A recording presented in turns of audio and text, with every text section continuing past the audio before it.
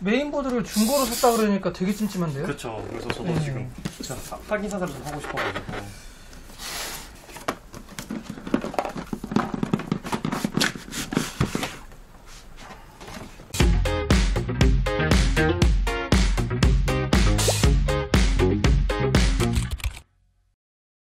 쿨러를 지금 쿨러. 팔라딘 설치할 거예요? 네네. CPU가 몇인데요? CPU 9600K요. 보드가 몇이었어요 이게? 아 390. 네네. 아, 밑에 인텔이 예, 이- 인텔 얘가 얘 맞나요? 네네. 흰색? 네. 그 밑에 장착칸에 따로 있어가지고 근데 얘는 원래 끼 네. 네, 그렇죠. 뽑아가지고 위에 이렇게 끼워서 하더라고요. 네, 그건 맞게 맞는데 저게 인텔용이 맞나? 지금 그걸 생각한 아. 거예요. 뭐 파워 이런 건 다 새 거고요. 파워도 네, 그래서 새거 사서 3번 4번 쇼트 시켜가지고 해봤는데 얘는 또 잘 돌아가더라고요. 아니 켜진다고 파워가 정상이라고 할 수는 없어요. 그건 이제 온오프가 되나 안 되나만 테스트하는 거죠. 아, 메모리는 이거 쓸 거죠? 네, 이것도 새로 산 거예요. 네. 켜지긴 켜져요? 정확히 한 28초 있다가 전원이 껐다 켜져요. 화면이 들어와요? 안 들어오기? 들어와요. 아, 화면도 안 들어오고 네. 전원만 잠깐 들어왔다가 네, 펜 다 돌아가는데 28초 후에 딱 꺼지고. 꺼진다. 네. 얘는 사실 안 꽂아도 되는데. 혹시 몰라서 저거 12핀 다 꼽아보고도 막 해봤거든요. 보드는 뭐 업장에서 산 거예요? 중국에? 아니요, 개인으로. 산 거예요. 개인한테요?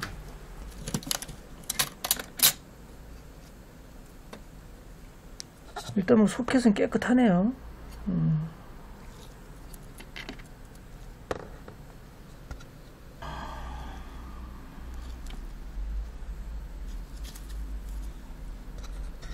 쿨러는 저희 걸로 일단 좀 아, 네. 써볼게요. 뭐 어떤 것도 상관없이.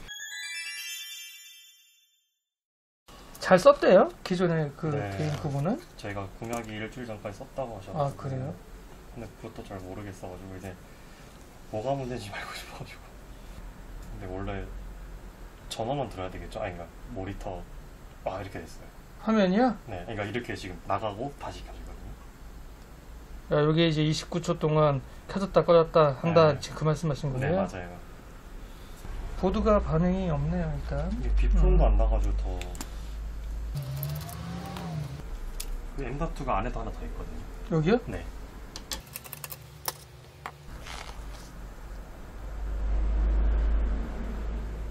들어왔다 나갔다 하는 거는 자연스러운 거예요. 근데 중요한 건 들어와야 되는 건데. 아, 여기 화면이요. 예, 예, 화면이 두- 뜨면서 작동해야 되는 게 맞죠.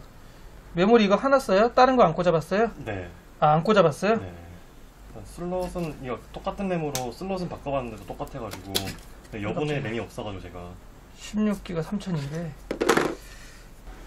저는 28초, 29초에 꺼진다길래 나는 화면이 뜨면서 꺼지는 줄 아. 알았어요.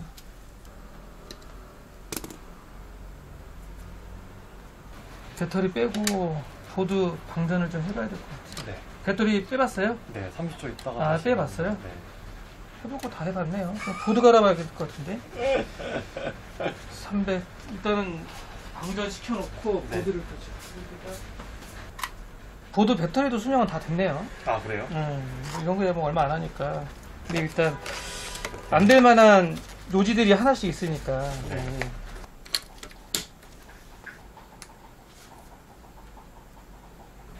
그래도 안 되네요. 아무래도 나 보, 보드가- 보드 같은데 느낌이. 그렇죠. 예.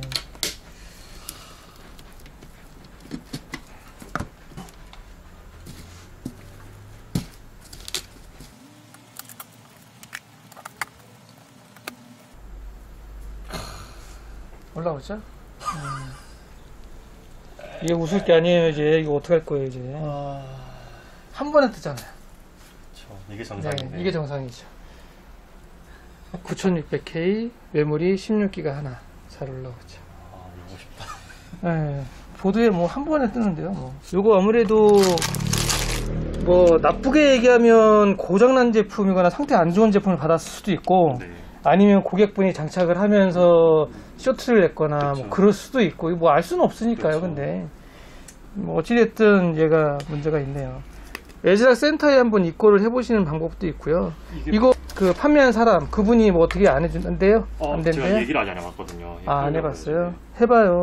근데- 보증이 잘 남아 있으면은 네. 안 남았을 것 같긴 한데. 제조사 쪽에서는 시리얼로 확인하니까 여기 에즈윈 거네요. 네. 이 ASRock 유통사가 에즈윈이거든요. 여기 에즈윈 있고 여기 serial 있죠. 네. 여기 여기 네 네. 여기 여기 이거 serial 불러주면 네. 보증기한 남았다 안 남았다 센터에서 확인해줘요. 네. 그래서 3년 이내다 그러면은 AS 다행히 보내면 되고 네. 만약에 3년 넘었다.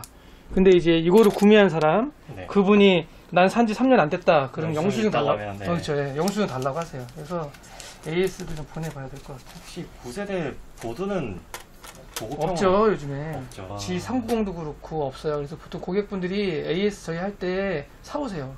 그냥 아. 제가 구해올 수가 없으니까. 음. 예, 지금 바로 해드릴 수는 없고, 아, 네네네. 예, 구해서 확인해 볼 수는 있고요. 그건 이제 후선이고 네네. 차선은 일단 판매하신 분하고 얘기를 해가지고. 뭐 어떻게 해야죠. 근데 보통 알겠습니다. 중고라는 게 한 번 또 주고받으면 끝이라고 그쵸. 얘기들 많이 하잖아요. 네. 그러니까 참 애매하네요. 중고보드를 안 구해드리고 하는 게 음. 못 구하는 건 아니에요. 네. 물건이 뭐 아예 없다, 쇼- 시장이 쇼티지다 네. 그러면 못 구하겠지만 보통 중고를 안 권해드리는 이유가 중간에서 어떻게 해드릴 수가 없어요. 그렇죠. 네, 맞아요. 왜냐면 저희는 업장이니까 그래도 사서 2개월이든 3개월이든 기본 보증은 해드려야 되는데 맞아요. 저희가 해드릴 수 받을 수 있는 길이 없으니까 그쵸. 해드릴 수도 없거든요. 그래서 중고를. 예, 맞아요. 네. 근데 중고를 그래서 못 구해드리는 거예요.